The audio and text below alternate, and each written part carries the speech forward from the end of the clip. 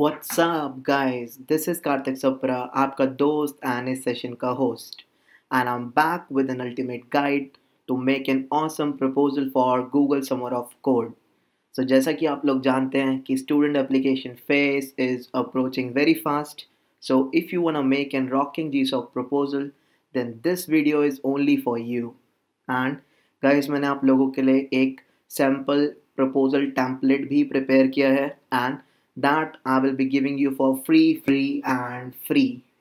चलिए बिना time waste करें ये देखते हैं कि एक अच्छे प्रपोजल के अंदर क्या क्या चीज़ें होनी ज़रूरी हैं। सो so, मैंने यही वाला जो टेम्पलेट है आप लोगों के लिए बनाया है and I will be sharing it with you also so इसके अंदर आप देख सकते हैं कि इसके अंदर बहुत सारी हेडिंग्स हैं बहुत सारी सब हेडिंग्स हैं that should be included in your proposal and हम लोग क्या करने वाले हैं? हम लोग हर हेडिंग को डिस्कस करने वाले हैं parallelly with my accepted proposal तो जैसा कि आप पहले देख सकते हैं कि सबसे पहली हेडिंग इस प्रोजेक्ट का नाम। सो so गाइस जैसा कि आप कोई भी एक ऑर्गेनाइजेशन को सिलेक्ट करते हैं एंड आप उसका प्रोजेक्ट सिलेक्ट करते हैं सो so जो प्रोजेक्ट आप सिलेक्ट कर रहे हैं, जिसके लिए आप प्रपोजल ड्राफ्ट करना चाहते हैं, उसका नाम सबसे पहले होना चाहिए। सबसे पहली हेडिंग वही होनी चाहिए and that name should be in bold so so, अगर मैं आपको अपना प्रपोजल दिखाऊँ मेरा खुद का एक्सेप्टेड प्रपोजल तो आप देख सकते हो कि मेरा जो प्रोजेक्ट का नाम था that is at the top and that too in bold heading second चीज़ जो कि आप देख सकते हो that is personal details so guys अब जो भी आपका प्रपोजल पढ़ रहा है वो आपको बहुत अच्छे से जान पाए। इसके लिए हम पर्सनल डिटेल्स देना बहुत ज़रूरी है। फ़र्स्ट थिंग इज़ कि आप अपने फुल नेम दें। सेकेंड थिंग इज़ कि आप अपने एक वर्किंग ईमेल आईडी प्रोवाइड करें। थर्ड थिंग इज़ कि आप अपना गिटहब हैंडल प्रोवाइड करें।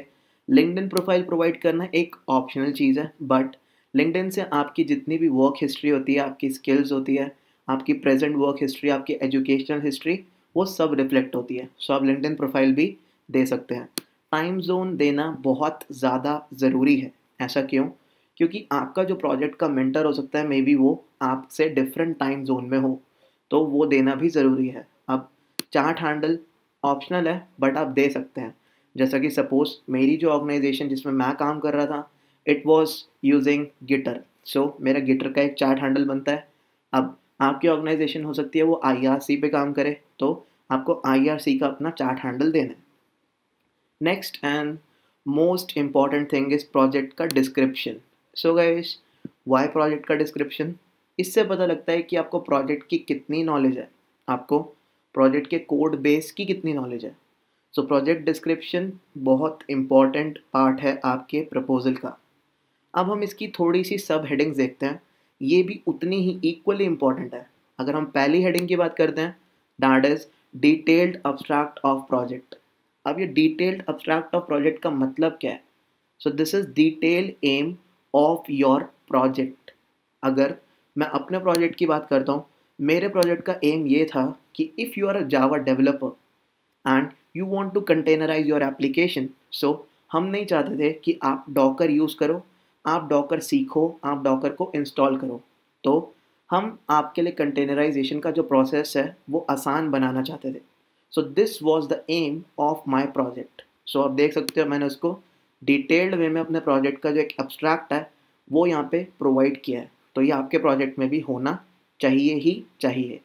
अब अगर मैं सेकेंड सब हेडिंग की यहाँ पे बात करता हूँ that is aspects targeted through project तो जो काम आप इस प्रोजेक्ट में करने वाले हो उसके पॉजिटिव्स क्या होंगे? इस प्रोजेक्ट के पॉजिटिव्स क्या होंगे? क्या फ़ायदा होगा यूज़र को इससे? सो so, आपको वो लिखना है वो भी डिटेल में पॉइंटर्स के अंदर। जैसा आप देखोगे मैंने भी ये चीज़ें लिखी हैं मैंने लिखा है पॉइंटर्स के साथ। सेपरेशन ऑफ़ कंसर्न्स इमेजेस का यूज़ करना बहुत ज़रूरी है जहाँ पे आप कर सकते हो। क्योंकि guys always remember that visualization is more better अब आप देख सकते हो दूसरा पॉइंट भी आपको दिख रहा है डीमन लेस एंड सिक्योरिटी के बेसिस पर।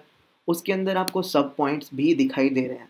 सो so, ऐसे ही कुछ पॉइंट्स आप देख सकते हो मैंने काफ़ी ज़्यादा पॉइंट्स लिखे हैं यहाँ पे।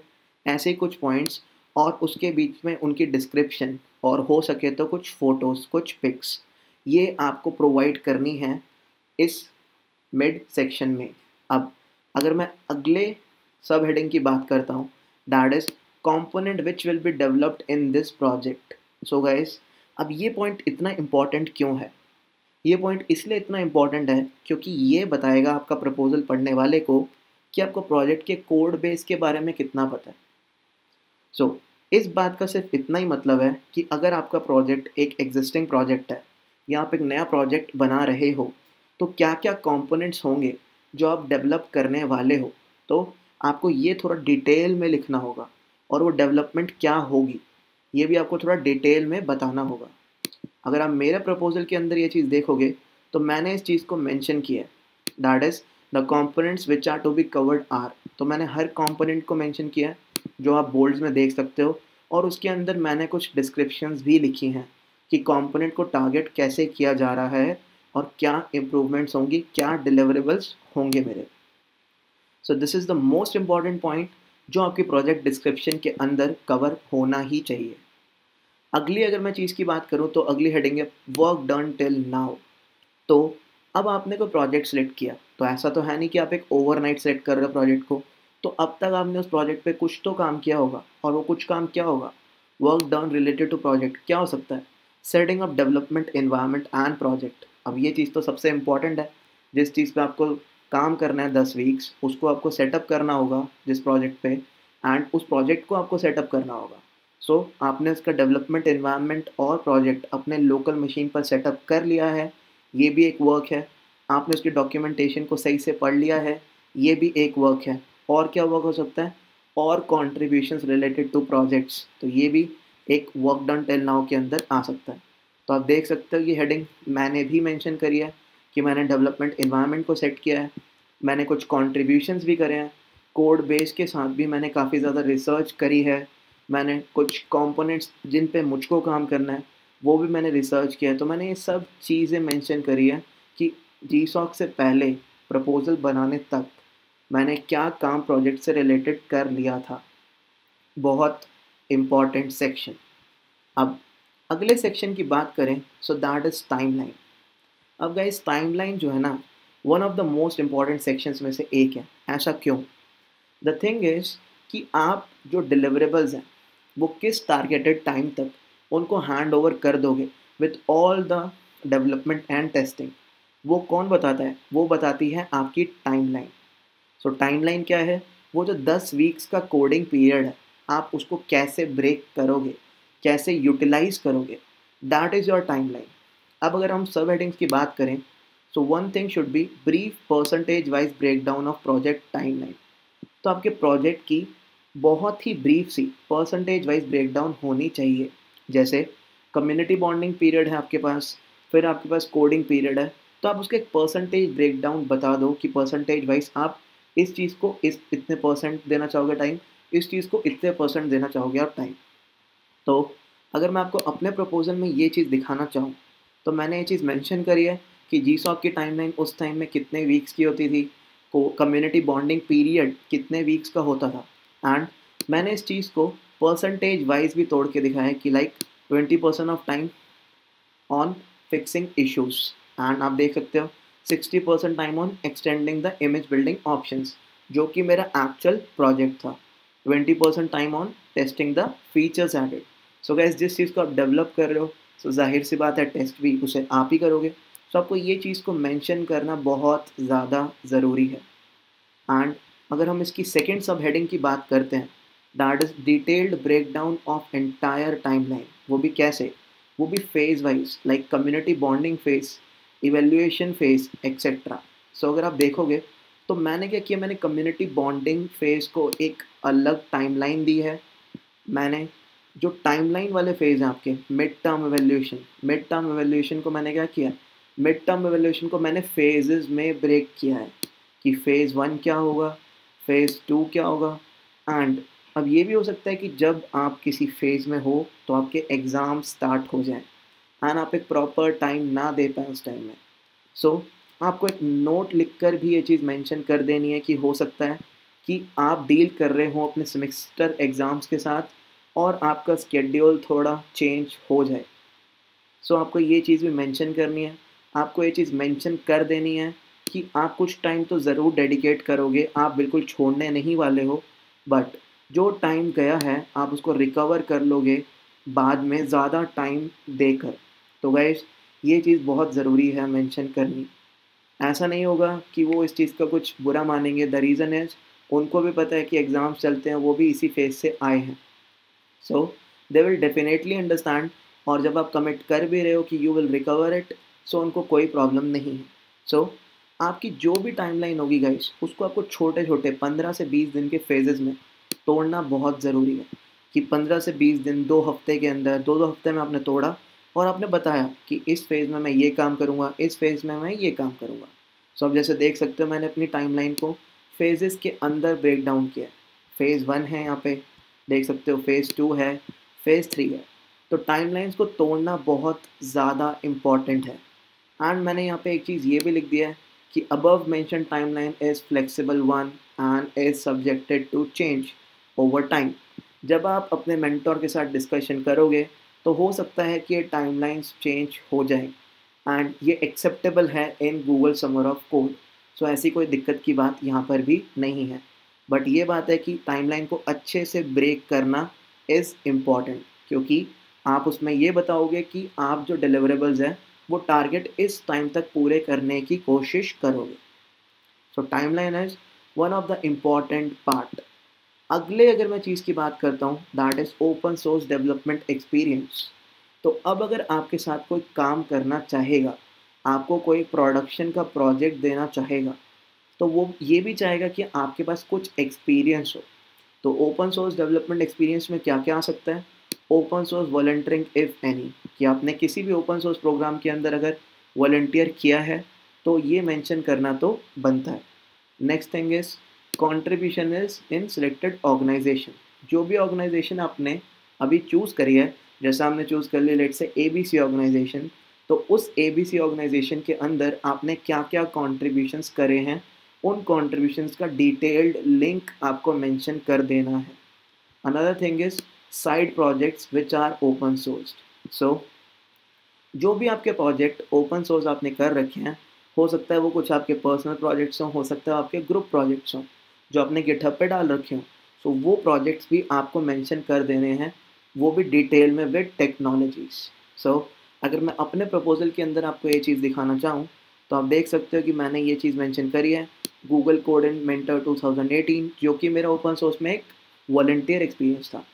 फिर मैंने ये चीज़ भी मेंशन करी है कि मैंने कुछ पैचेस यानी पुल रिक्वेस्ट यानी कुछ इश्यूज़ सॉल्व करे हैं जो मेरा सिलेक्टेड प्रोजेक्ट था F M P that is fabric Maven plugin तो आप देख सकते हो मैंने इश्यूज़ के लिंक्स डाले हैं ताकि जो भी इस प्रपोजल को पढ़े, वो इश्यूज़ के लिंक्स पर जाए और उनको एक्सेस कर सके, मेरे कॉन्ट्रीब्यूशंस देख सके।